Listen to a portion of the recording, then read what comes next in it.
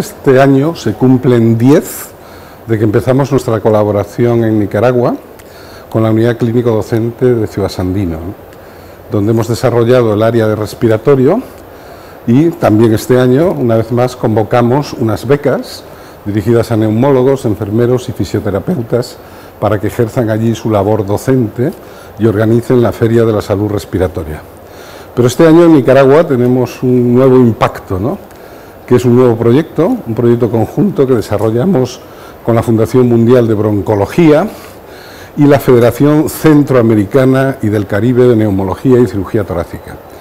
Se va a implementar primero en Nicaragua y vamos a impartir una serie de cursos teórico-prácticos de broncoscopia y de manejo del espacio pleural.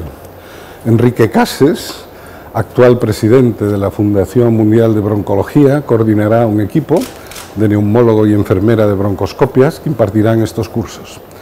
Es nuestra intención que la Fundación Mundial de Broncología aporte material endoscópico a, estos países, que son muy deficitarios en este tema, y así como este año nuestro punto de mira es Nicaragua, queremos ampliar el proyecto a otros países eh, de la zona de Centroamérica.